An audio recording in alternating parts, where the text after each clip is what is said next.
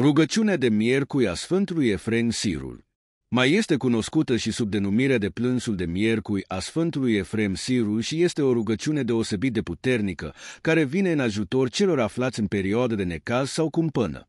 Dorul de a grăi către tine. Doamne, mă silește să-ți vorbesc, dar nevrednicea și pocătușenia mea îmi poruncesc să tac. Durerile și necazurile vieții mă îndeamnă să cuvântez, dar fără de legile trecutului îmi spun să fiu mort. Sufletul meu geme din adâncul și ochii mei lacrimi poftesc. Greșit ai?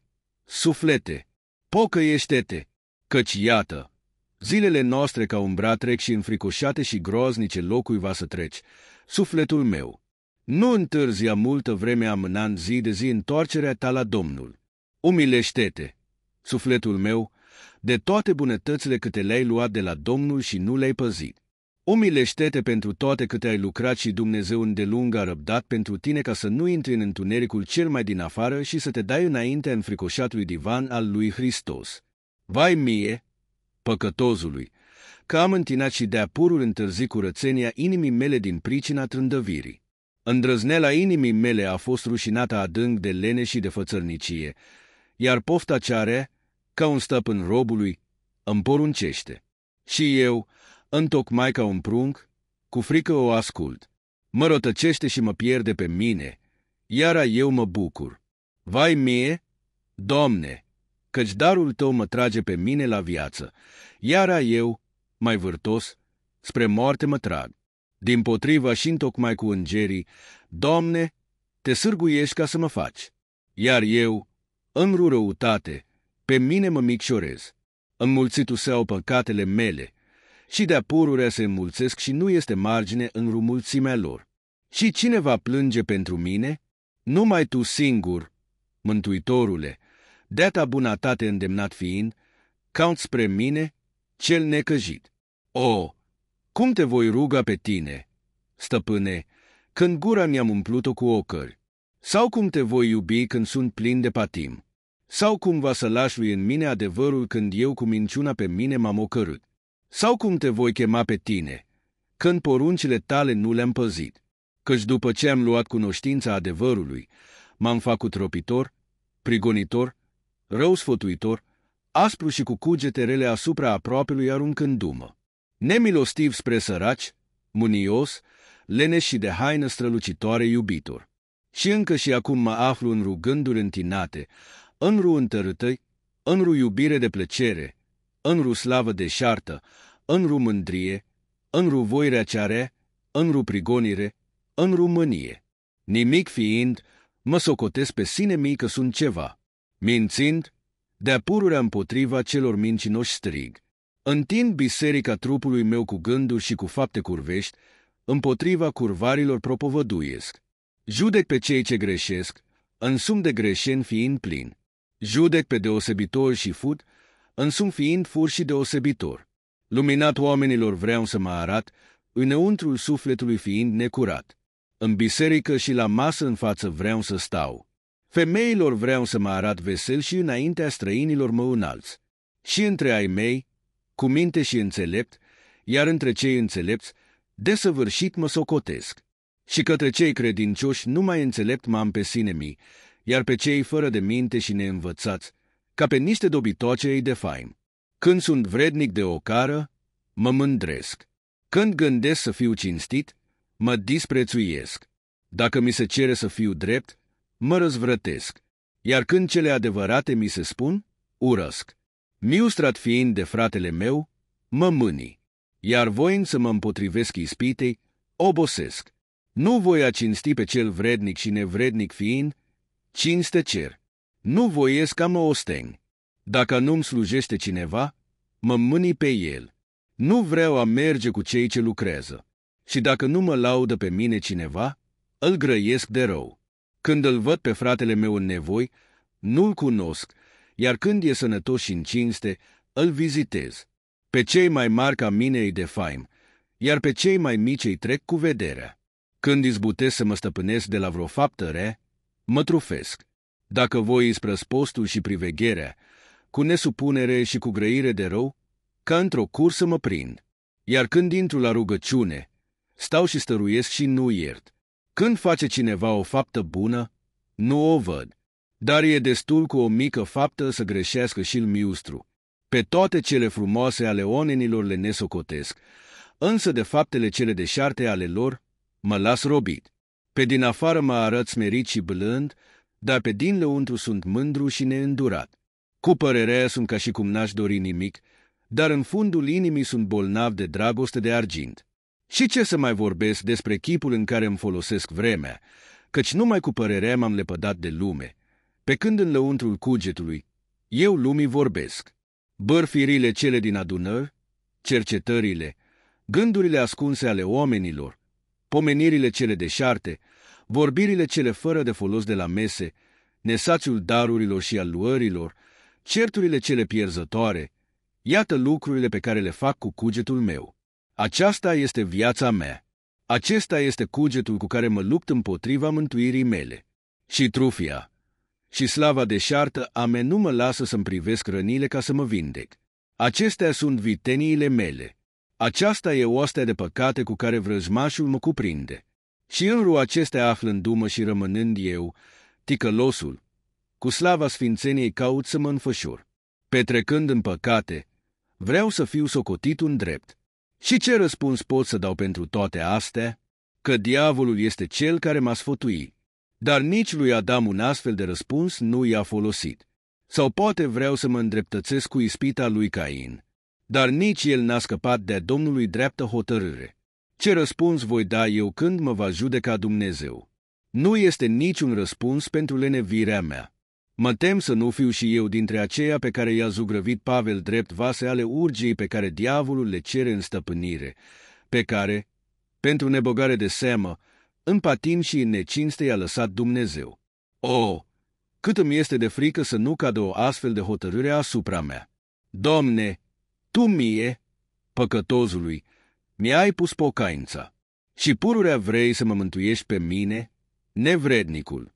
Înviază, dătătorule de viață, sufletul meu cel omorât cu păcatele. Spală-mi orbirea cea învechită a ticălosei mele inimii.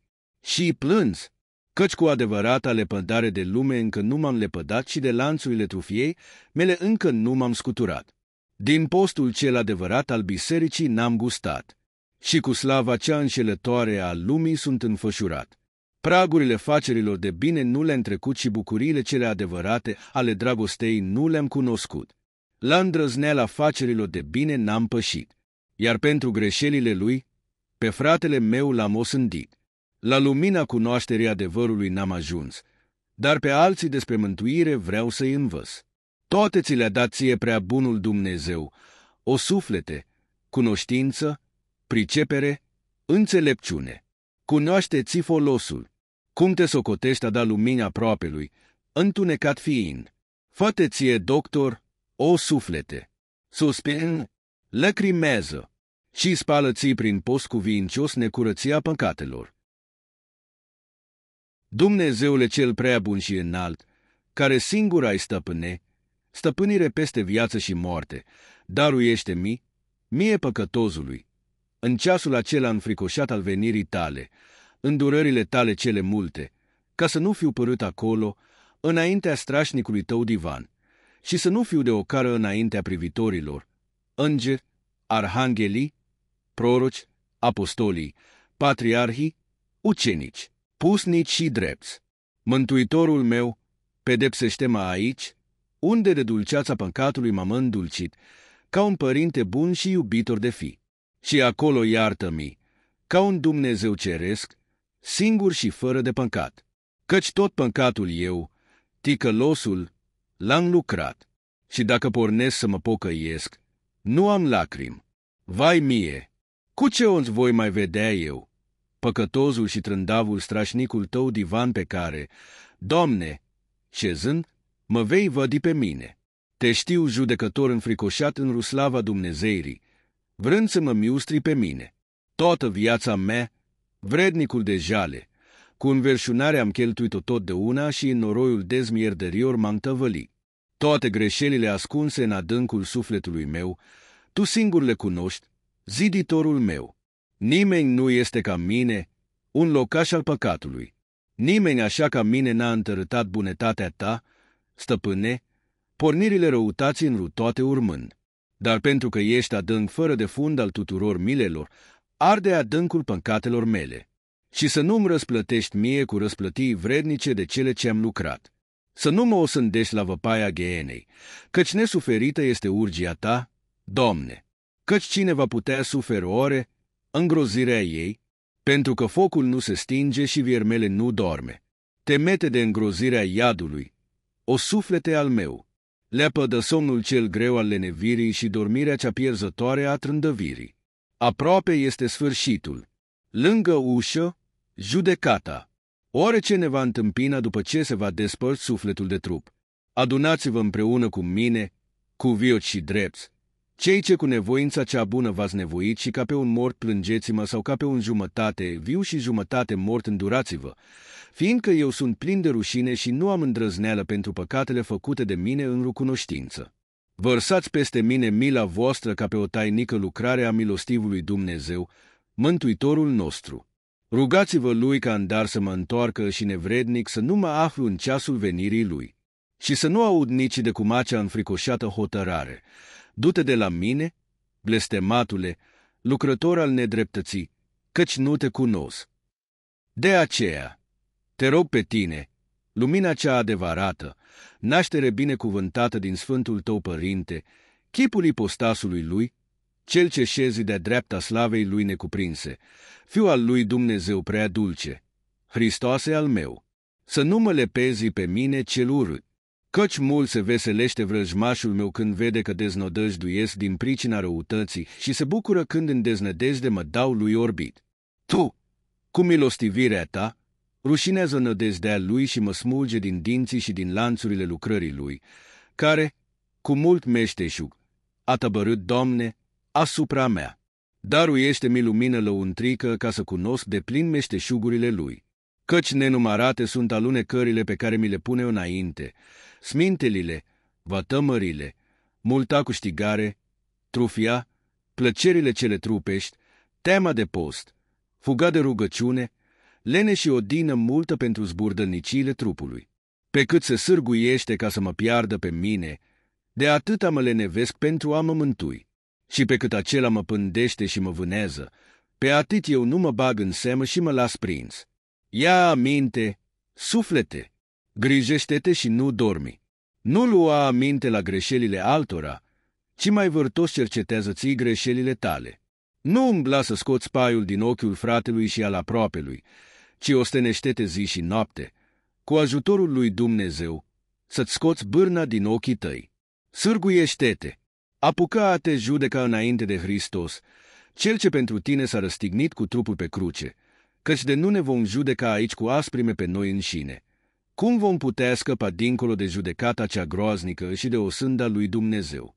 Îndură-te spre mine, Doamne, pentru milostivirea Ta, și mă mântuiește pe mine pentru bunătatea Ta, cu solirile preacuratei noastre stăpâne, de Dumnezeu născătoare, și ale tuturor sfinților Tăi, că binecuvintat ești în vecii vecilor.